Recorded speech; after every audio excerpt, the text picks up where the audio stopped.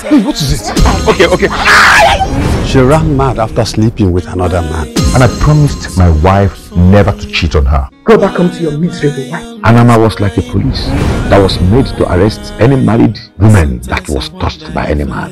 Let us enact another law that will hold the men just the way this law is holding the women. If my wife cheats on me, I will never allow her pass through this. Then your wife will live her entire life mad.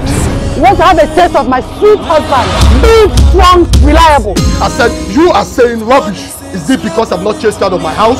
Your Odogu is not working with you. Why can't you love my wife? Get home, Maggie. Is it by force to love her? It's what she just displayed now. It means you are in for another trouble. When I saw her, she was just behaving funny. She was just saying the things that I know my wife will never say. Heaven will not forgive you for what you made me and my family pass through. She was made to dance round the market square naked.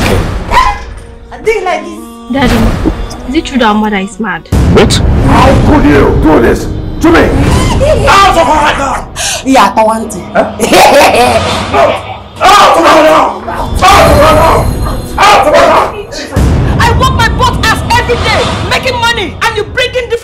into this house. Stop loving someone else's husband. And you think 5 million naira can fix the damages you've done to my home? Why is there no forgiveness in your heart? The tears on the faces of our people is what is pushing us.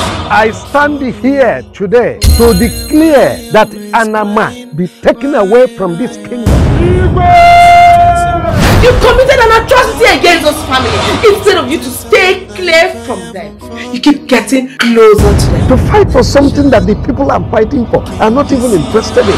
Who will be brave enough to lose his life to face anything that comes his way? Our men dying mysteriously after eating from the man that slept with our wives. So should we ignore it? You know where you are? This is Nollywood Pictures TV.